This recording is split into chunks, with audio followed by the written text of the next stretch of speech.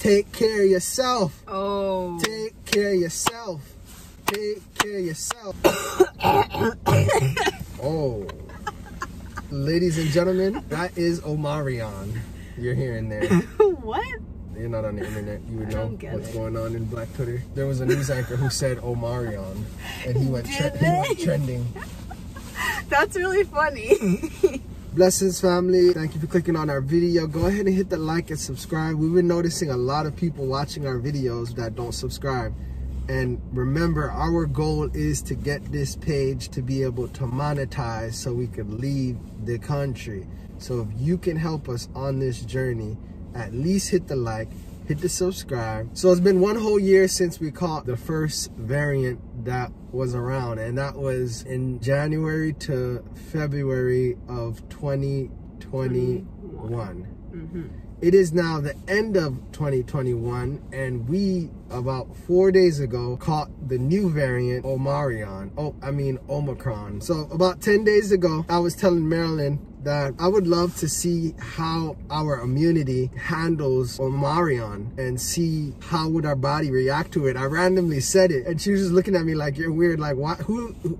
Who? Why would you want to catch this again? yeah, why why would you want to catch it or whatever? But I'm curious because you know, as you know, I never got the job and Marilyn neither, and we went to get our immunity test and our immunity was high. Remember, I told you guys I microdose the variants because I work in the hospital. With that being said, we caught the new variant again, and that was about eight days ago. For some reason, I could not sleep, and then I woke up the next morning to get ready for work, and I went to try to sleep again before work, and I just wasn't sleeping properly. And then two days after that, I was like, I don't feel good, and Marilyn was like, I don't feel good either. And then we realized that we caught Omarion. Hi, everybody.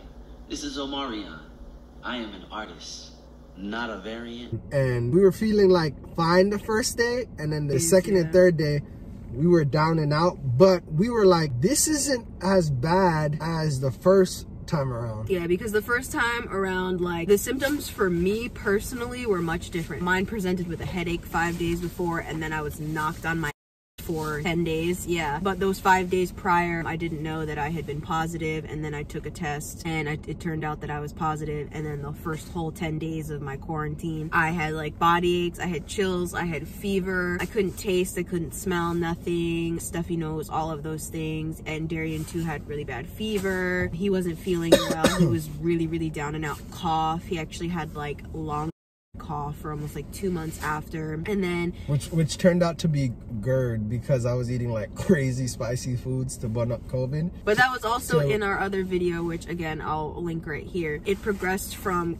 cough to bronchitis to pneumonia to GERD to a bunch of different things, all stemming from cough, right? And then this presentation was also weird. We've been going to hot Pilates three to four times a week and we don't wear masks. You know, we're not required to. It's optional to wear masks in these classes. So the hot Pilates classes are high intensity interval training. So it's a lot of breathing. So, I mean, it's a breeding ground for, you know, the thing that's going around right now. Yeah, but we, So- we've been going there for a while and we haven't caught it. And we Yeah. recently found a new studio next to our house and we were like, oh, let's go to this one. So we went there. When I was in class, I heard someone like sneezing and like sniffling and stuff. And I was like, but they were behind me, far behind. So I was like not paying attention to it. Mm-hmm. But after you know three days i was like hmm maybe i got it from there because it was a whole new environment i was in very different than the other environments i was in. We're out in nature today. We're away from people. But for me it's been a whole week of having this but five days of knowing that i caught omarion. With that being said the first three days of catching omarion i was like wow i feel a lot better like than i did the last time.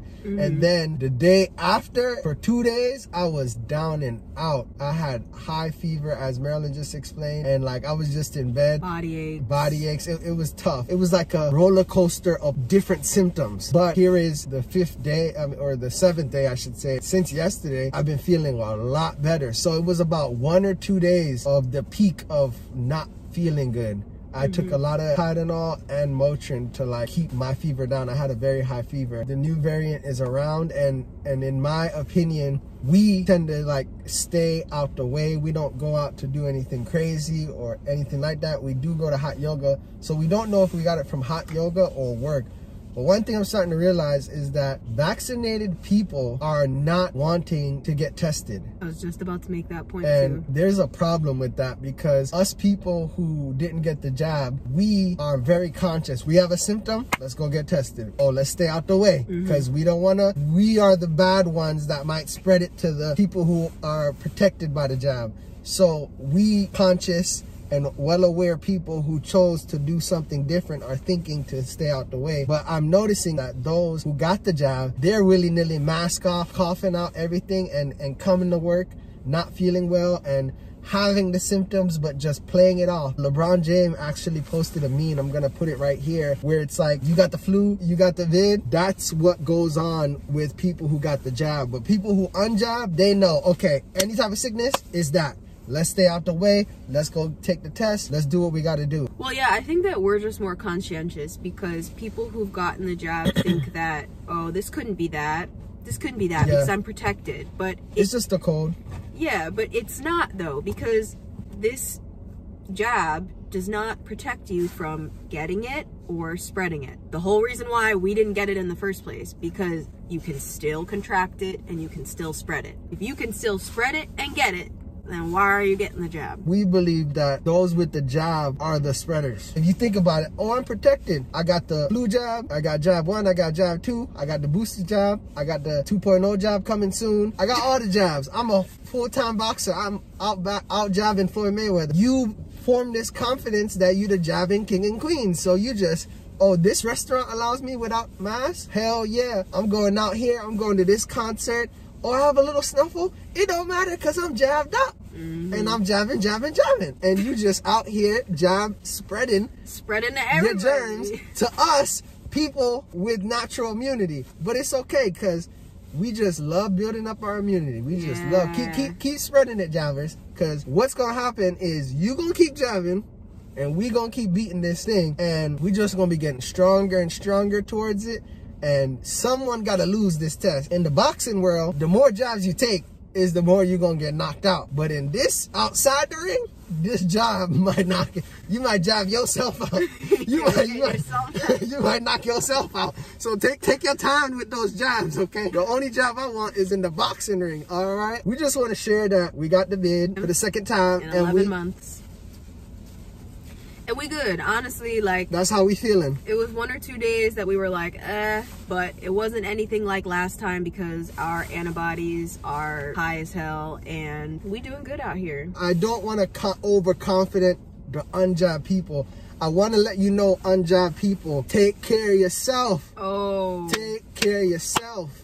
Take care of yourself. Because listen, this one was a lot different than the first one. if we ain't take care If of I was high blood pressure, diabetes, Diabetes. heart, shortness of breath, asthma, aka if I was eating, overeating, no exercise, high sugar intake, high salt intake, high liquor intake, I could see Omarion coming for you. I felt some things and I was like, all praises to my immunity. I work out at least two to three times a week. I tried my best to take care of myself. And I believe that we were exercising and, and trying to be conscious of what we put in our body, by any means necessary, that vid would have got you. You would have been in all the rooms. It was very different. It was like trying to squeeze my chest, but it's like my chest wasn't allowing it to squeeze. It was trying to create mucus, but my body wasn't allowing it to create mucus. I felt like a battle versus my immunity versus it. And it was a beautiful thing versus last time it was like just go ahead and lay down for me real quick. All right. I'm, I'm, I'm coming into your body because you know i never been here before. So mm-hmm. this time around it was a lot stronger than the first time we got it. So unjab folks please put on your guard your boxing gloves the mouth guard take care of yourself mm-hmm. because it will knock you unconscious if you out here unjab and unhealthy yeah. if you unhealthy, go ahead and go join them with jabbing. Go ahead and jab yourself because you not you don't want to build up your own health, inner health, your Yeah. inner your inner wealth, your inner health. So I recommend go to that boxing ring and go get jabbed over there to at least help beat the severity of what might happen to you.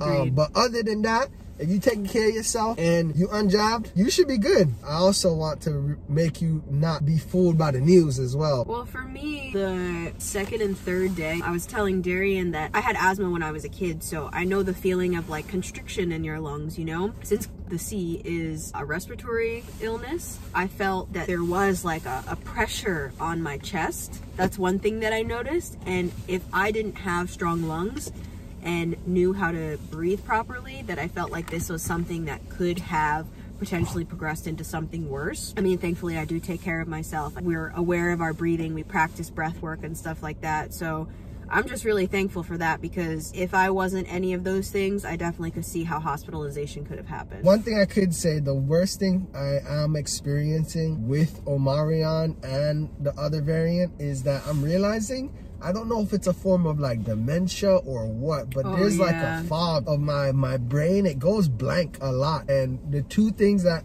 I'm experiencing that hasn't gone away yet is a cough. I wasn't coughing the first three days, but towards the end now, I'm coughing, and I think the same for Marilyn. Mm-hmm. And the brain fog. It's like your brain goes empty. Like you could be thinking about talking about something, and your brain just goes empty. With that being said, go ahead and hit that like Go hit that subscribe. Remember, if you unjab, take care of yourself. Peace. Name. Jingle Bell. Jingle Bell. Jingle Bell. Jingle Bell. Jingle Bell. Jingle Bell or we find Jingle. You got it? What is it? Gingibil. Gingerville? Zincibel. Zincibel. Zincibel.